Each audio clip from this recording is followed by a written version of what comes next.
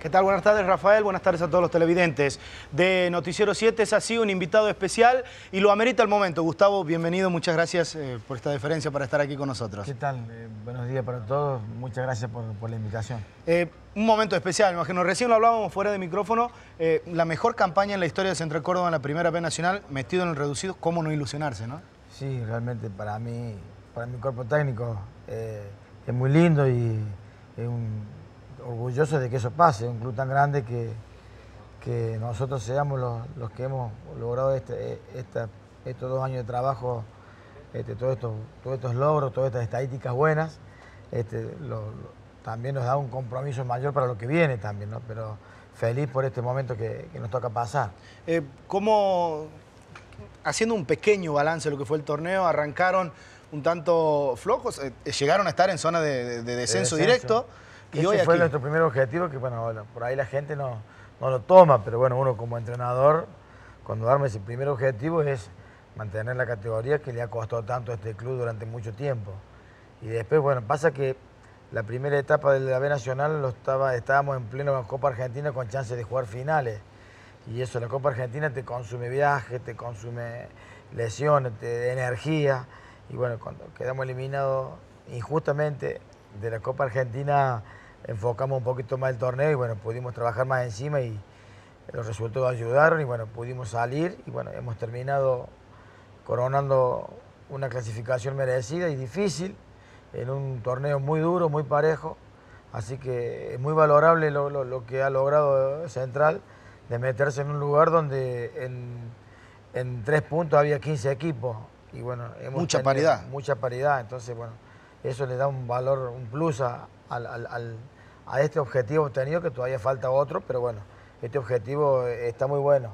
Eh, te sigues demostrando que tus apuestas en jugadores, eh, en una forma de jugar, en un estilo, siguen dando resultados, ¿no? Eh, con la constancia, con el proyecto, eso también va de la mano lo que apoya la dirigencia. Sí, totalmente. Bueno, uno elige el plantel, pregunta, algunos jugadores ya los conocía, bueno, por suerte el margen de error se ha achicado muchísimo, prácticamente todos los chicos que han venido de una forma o de otra sumados y han mostrado su, buen rendimiento, eso ha ayudado a lo colectivo, así que estamos bien en ese aspecto, estamos con una dirigencia muy cerca, estamos, gozamos de plena, de buena salud todos, contentos por, tenemos 200 años de club ahora, que al terminar con una buena campaña va a ser mucho más saludable, el club está creciendo también en obras, así que bueno, eh, es un lindo momento para Central, hay que disfrutarlo, saber de dónde venimos, para saber y disfrutar a dónde estamos.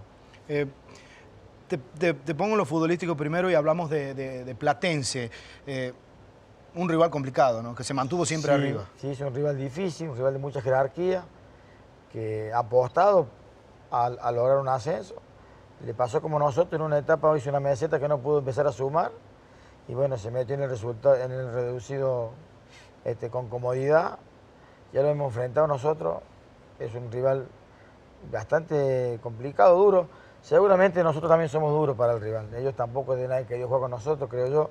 Pero bueno, los toca un rival difícil, definir en Buenos Aires. No, lo, no me cae mal definir de visitante a mí, por mi característica, por mi forma de jugar. Pero sí, bueno, ojalá que podamos hacer una diferencia de goles, cosa que podamos sostener y defender con, una, mínima diferencia a favor allá. ¿Te sorprendió que, Mitre quedara fuera? Te pregunto el rival. Sí, este sí, me sorprendió porque no por esto, sino porque tiene un, había armado un buen plantel. Yo que conozco un poquito, había armado un muy buen plantel de jugadores de la categoría, rápidos, goleadores, y bueno, esto es fútbol. Este, instituto creo que fue el mejor, eh, que era, creo que para mí era el mejor plantel de la categoría y creo que terminó a tres puntos del último. Y el fútbol tiene estas cuestiones, cuando uno le agarra la meseta descendente, por ahí cuesta salir, o un partido te marca, pero me sorprendió más que todo por eso, porque es un plantel que, conozco, el cuerpo técnico también, era un cuerpo técnico bárbaro, en el caso de Grelac y Indicacho ni hablar, que es un tipo que conoce y tiene un montón de ascenso, pero bueno, esto es fútbol y seguramente ellos harán su autocrítica y verán en, qué, en pudieron mejorar, pero creo que el plantel de Mitre a nivel individual era muy bueno. Eh, vemos estas imágenes que, justo tenemos aquí y vemos el clásico. ¿Fue especial? ¿Se vive de otra manera? ¿Te hubiera gustado jugar el clásico en el reducido? Porque hay una carga de presión extra, además de lo que puede hacer táctico. Lo, lo dije cuando ojalá podamos clasificar los dos y jugar. Seguramente es para el infarto, todo para, para la gente que hincha de cada club, que seguramente son 15 días de locura en el buen sentido. Pero a mí me hubiera gustado por, la fiesta del fútbol, por Santiago, y porque bueno, me gustan los desafíos así. Pero bueno, no se pudo dar, ya que tenemos que pensar un poquito en lo que viene, que es Platense, que es un rival importante y grande. Nosotros con nuestras armas sabemos lo que tenemos que hacer, con el perfil bajo de siempre. tratar de hacerlo renegar un poquito a Platense si se puede. Eh, tienes eh, casi 15 días, 10 días para ser más exactos de trabajo. Sí, me dijeron que jugamos sábado. Sábado... Sábado 5 puede ser. Sábado 4, sábado 4. Sábado 4, el horario confirmé, pero creo que ese horario, ese día me informaron hoy que hay una supuesta, casi, casi con seguridad que jugamos el sábado.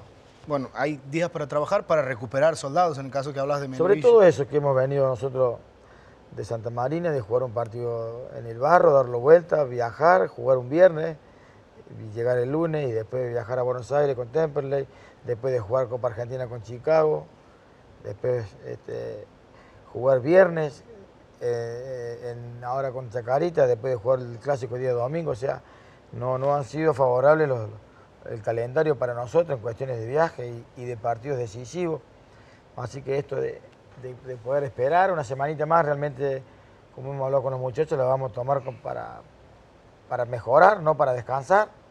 Y bueno, y estamos, estamos en esa tesitura de, de, crecer como equipo, de crecer como grupo y de enfrentar este mini mundial, como digo yo, de la mejor manera.